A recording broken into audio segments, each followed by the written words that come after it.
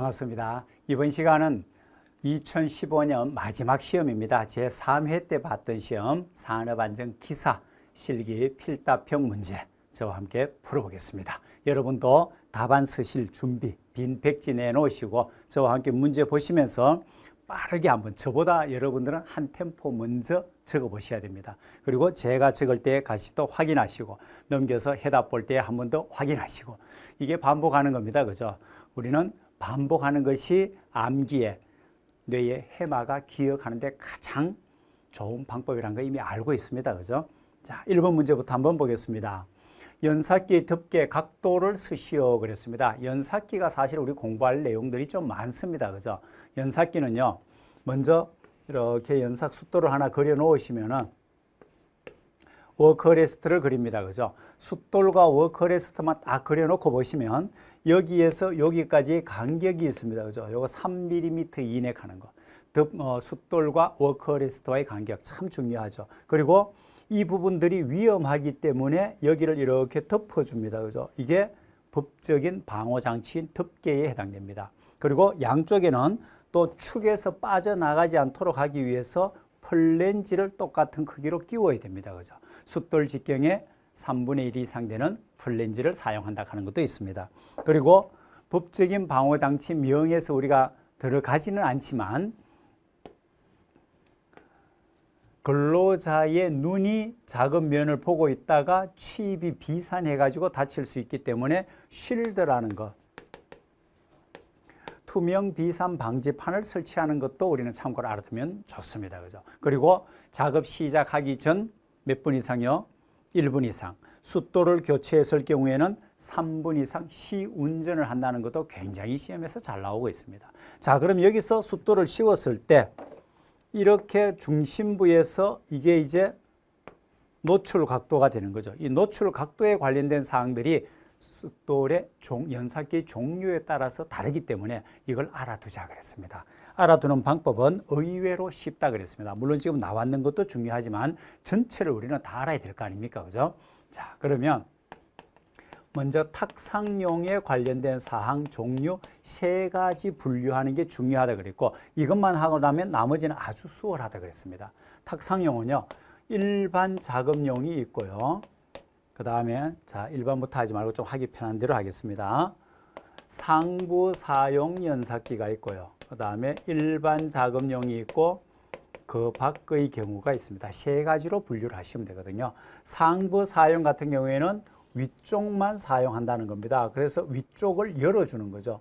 이렇게 수평으로 잘랐을 때 이 각도가 60, 60, 60으로 똑같은 상황에서 덮개는 이렇게 덮어주는 거죠. 이러면 상부 사용 연삭기가 됩니다. 노출 각도가 60도가 되는 거죠. 수평면 위로 이루는 경우에 60도까지를 덮어준다고 생각하시면 돼요.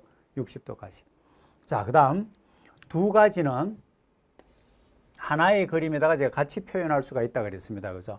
자, 이렇게 해서 덮개를 이렇게 씌워주는데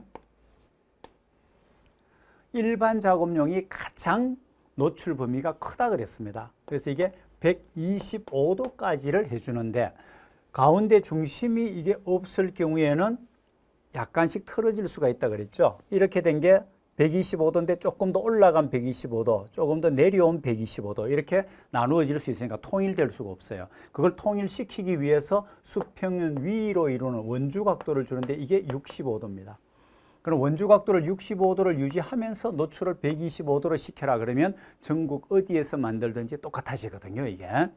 여기에 그 밖의 경우는 조금 더 덮어주면 됩니다. 조금만 더 덮어가지고 얼마로? 80도만 열어주면은 원주 각도는 그대로 가는 거죠.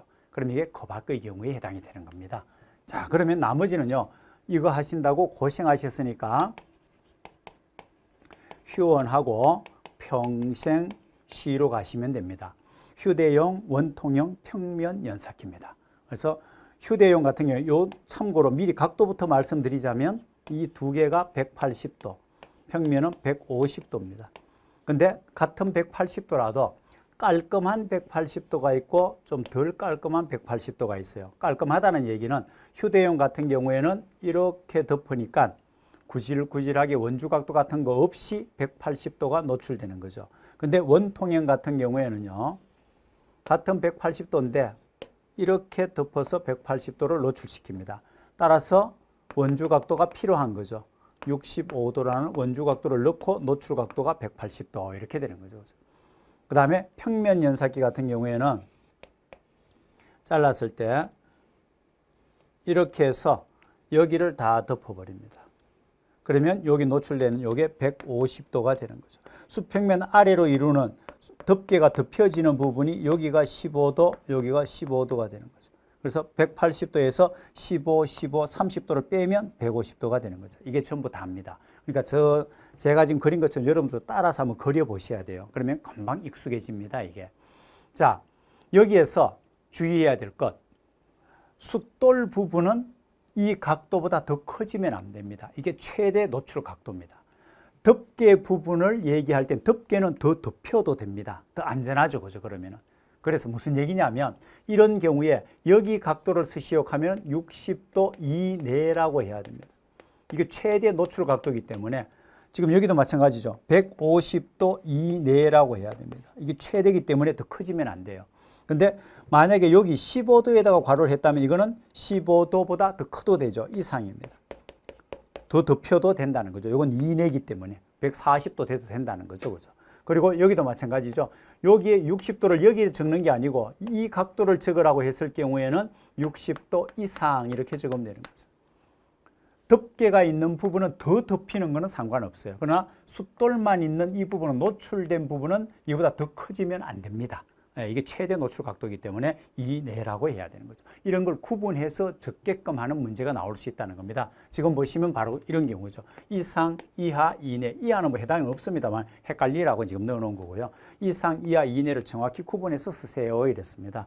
자, 여기 보시면은 65도 이내입니다. 그죠? 1번 같은 경우에 일반 자금용에 해당되는 것이죠. 그러면 125도라고 하고 이거는 뭡니까? 이내라고 적어야 되는 거죠. 그리고 65도 이내. 원주 각도도 마찬가지죠.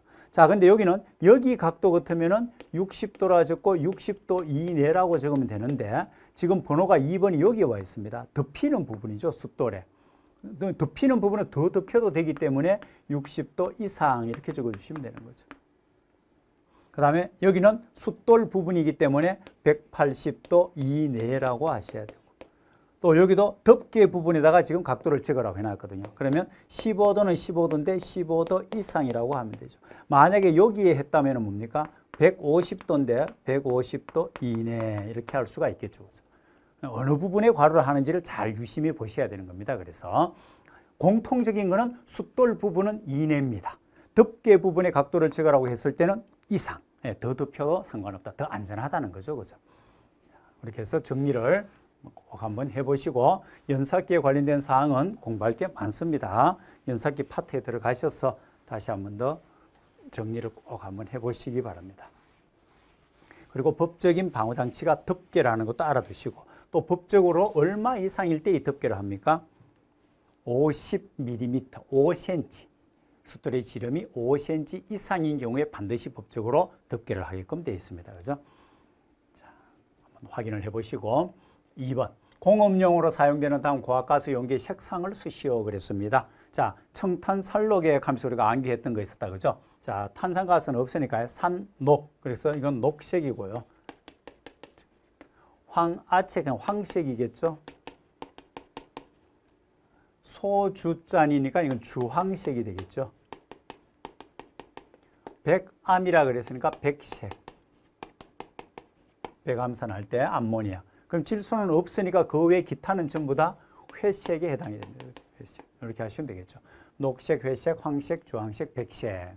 한번 확인해 보시고요. 주황색, 백색 맞습니다. 그죠? 나머지도 표에서 다시 한 번 더 점검을 해 보시기 바랍니다. 아주 기본적인 사항이죠. 이 색깔 외우는 건 절대 놓치시면 안 된다 그랬습니다.